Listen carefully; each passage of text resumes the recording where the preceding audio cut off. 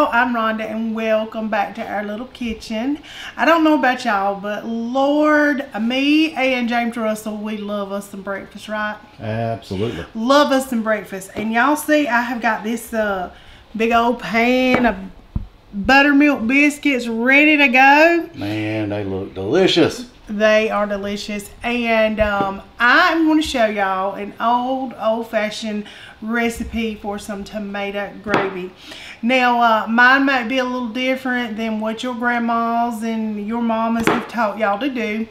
Um, i was taught years ago by um, my Ma-Ma i um, called her Ma-Ma so my Ma-Ma taught me this recipe years ago. I was fortunate enough to um, have some good women in my life that shared some excellent recipes to pass down. And um, this is one that I'm going to be sharing with y'all today. So we got the biscuits ready. Um, I'm going to jump back here and uh, start my little tomato gravy, y'all. If you have not had this, it is a treat. Um, not not many uh, ingredients in it. Um, it was something they cooked, uh, whipped up for the family. They fed their family years ago. That um, that was plentiful. It didn't cost much, so it's budget friendly on top of it. So uh, let's get this gravy going. All right, y'all. I got me some bacon. Um, I've got five slices of bacon in here. And um, I know y'all know how to fry bacon, but um, I'm just showing you that uh, I'm frying this bacon in order to get this bacon grease because is going to be an important part of our tomato gravy. Now, you don't have to you don't have to fry, you know, bacon if you don't want to. If you got you some bacon up or some bacon grease in the refrigerator, whatever, um, you can use that. You don't have to uh, start off with the bacon. But um, the one thing that Mama did is she always put bacon back into her tomato gravy. So I'm going to show y'all and do it like Mama did it because I'm telling you what, this is some good stuff. And um, you listen, treat yourself. It's, It's always better with bacon. it's good, yeah, better, yes, bacon makes it better. That's right. But um, if you don't want to fry, you know, bacon, you can skip this step.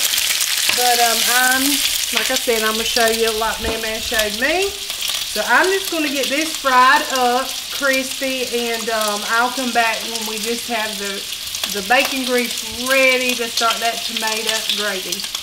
Okay, y'all got my bacon all fried up. She's crispy. And I've got about a half a cup of Vidalia onion here. Um, I'm just going to go right on in here and maybe not, maybe I don't need that much. You just uh, lead with your heart. You use however much you want to use. And we like some good Vidalia onion. We're going to fry this just a little bit. I'm going to go ahead and give it a little, give it a little salt, a little pepper. But uh, we'll keep we'll keep the taste in this one. So no problem. Little black pepper in there. Smells good already. That onion's doing its thing, honey. Mm-hmm. I done spattered stuff all over the stove. We just got us a situation, but it don't matter. We're gonna have us some good old gravy here Yeah. shortly. Good old gravy. Now, I'm not gonna let it cook too long. Um, I am now, I'll just tell you the ingredients I've got. I've got some chicken broth. You don't have to have it. It just adds extra flavor. I've got a little milk just for a little creaminess. Once again, you can just use water for all of this and it's still going to be good. But um, I'm going to go in here with my flour and I'm trying to be good. Uh, now you want about the same amount of flour as you have your bacon grease. So I'm going to start with about three tablespoons of flour. That's really about what I have. And you want to stir this around because we're going to start making us a roux. Now, um, for all of you gravy makers that know, um, the longer you let this go, the darker it gets. For those that don't make gravy, the longer you let this go, the darker it gets, okay? you learning today. Yes, you will learn today, all right? So um, I'm just going to stir this around, and we're going to let this darken up just a little bit. And um, We also want to cook that flour taste out of it because you don't want it to taste like flour. So the longer you cook it, the more that flour cooks up in there. And um, those onions will start to get tender, honey. Mm. They, they getting right. I'm telling you, they are getting right. So I'm just going to stir this around, let this get um, to be about a peanut butter caramel color, something like that. Some people do this, uh, they dump their tomatoes in and all that stuff and then add a slurry with the, the flour. But um, this is the way Mama taught me to do it. So um, I'm showing you the way I know. I haven't had this recipe in so long now. I'm telling you, it was probably when my kids were little and um, somebody had made mention of it the other day and I said, oh, I am gonna, I am gonna do that recipe. So. And I have never had it. He's never had it, so this will be truly a treat for him, hopefully. Right. I've never even heard of tomato gravy. My not. daddy may have. I don't know. I need to ask him ever heard of it. Yeah, this is um, but this is a real popular dish here in South Carolina, North Carolina, um, all over the place. Really, I'm not gonna say just around in the Carolinas, but um, my Mama used to say that uh, she, her mom died when she was young, and she had to take on the responsibility at a very young age of cooking for her brothers and her dad. So they'd come in out of fields and and she'd have to have their their little dishes ready and she said uh, you know it was it was hard for her as a little girl to try to to feed them you know because she was she was still just a young girl and um, she said this was one that she could just whip right up and everybody enjoyed it see how it's starting to get a little darker I should have did it in my little cast iron but I didn't this is good too. Real good stuff. It smells delicious. It is. It already smells good. And I've got me, um, now you can use chicken broth. Um, this is mine. I got it mixed around here. Um, like I said, you don't have to have the milk or the chicken broth. This is just, uh, you know, me being extra. This is how I was taught to do it. A little bit So- more flavor, ain't a little bit more flavor, it really is. Um, but I'm sure even with water, it's simple, and that's what Mama said. She said once she got older, she started using the chicken broth and the milk. She said, but they had very, very little growing up, so she said uh, water is what they always did. And um, I'm using some diced tomatoes out of can. She said uh, she just used, they would pick them out of the garden and use them right out of the garden. So um, uh, you can do that as well if you've got some nice tomatoes coming in. Y'all, our tomatoes is out there just beautiful as they can be, but they still green and they still need a little love. So I, canned tomatoes it is. All right, I'm just gonna cook this down just a little bit more. It's starting to, starting to turn. We wanna definitely cook that flour taste out of it starting to darken up just a little bit. It just takes time. All right, Oh, I can't tell you how good that smells. it smells good now. Yeah.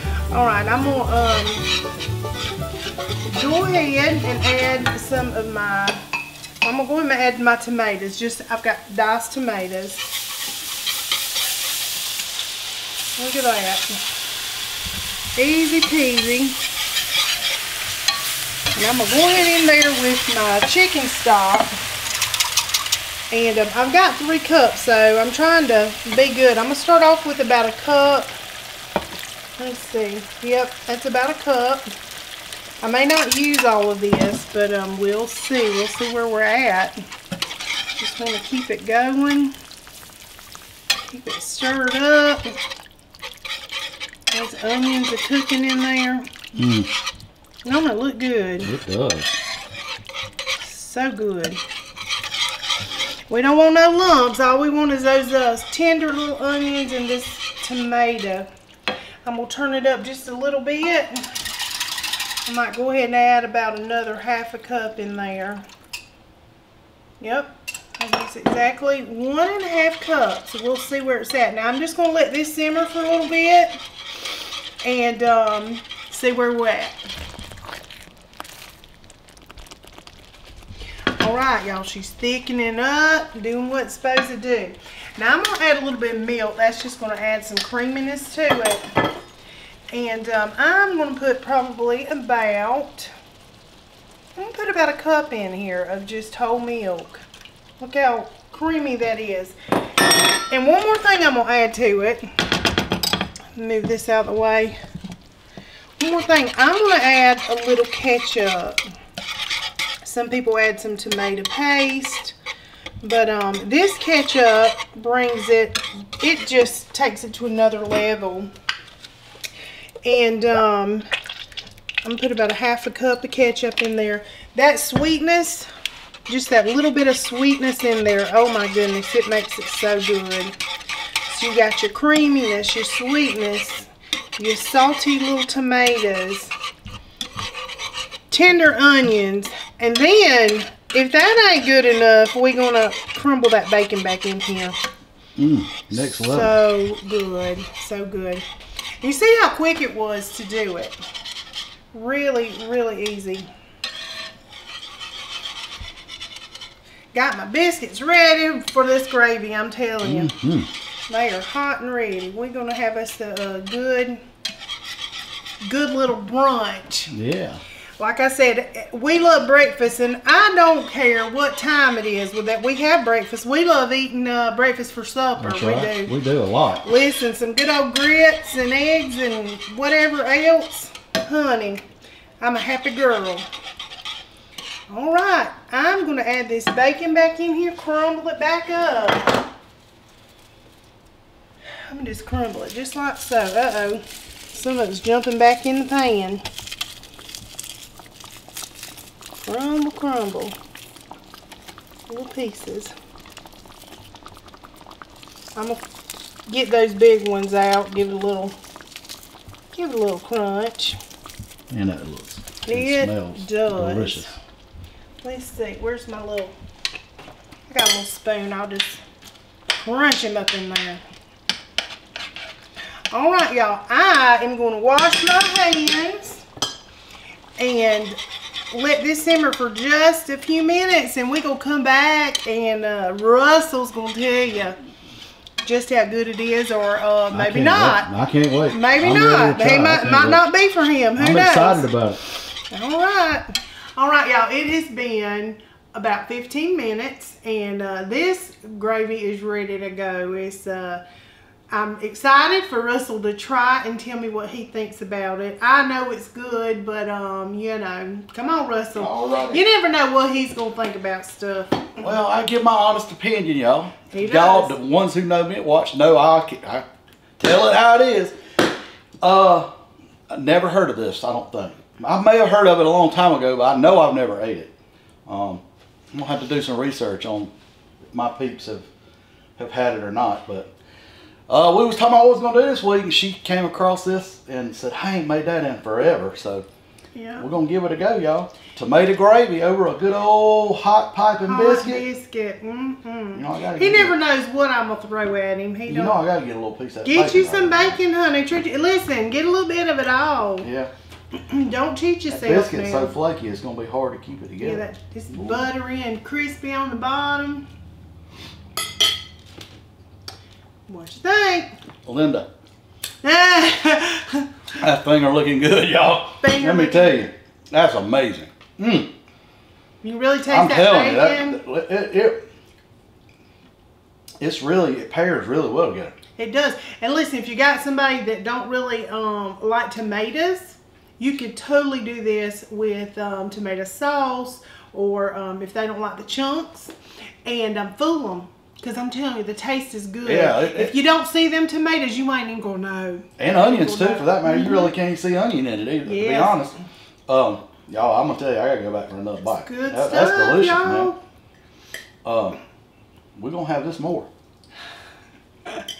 I'm I'm a little disappointed I haven't been doing it all these years. I didn't make it. This, you know how you just think about uh, or you forget about recipes that you used to make and they'll just come to you sometimes. Hey, we hadn't had that in forever. That is delicious.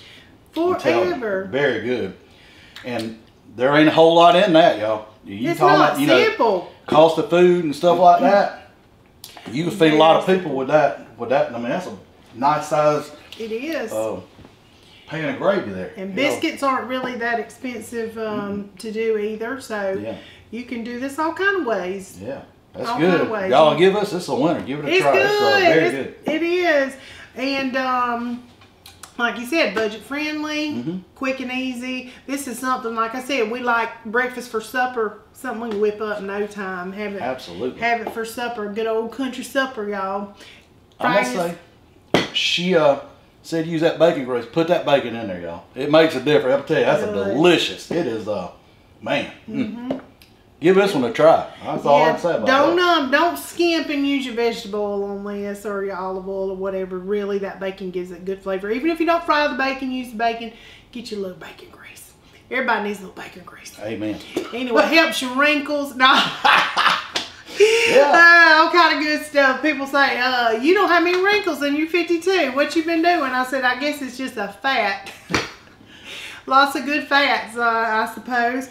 But um, this is a good one, y'all. Try it. I want to say thank you so much to all of our new people. Yeah, we appreciate it. Big. Welcome. big hugs and love. Yeah, we love the comments from somebody new that just Yes. discovered us. It makes us, uh, you know, you know, just feel warm and Yeah, fuzzy. it just does our heart good, makes us smile. But um, thank y'all so much, so much for all your support.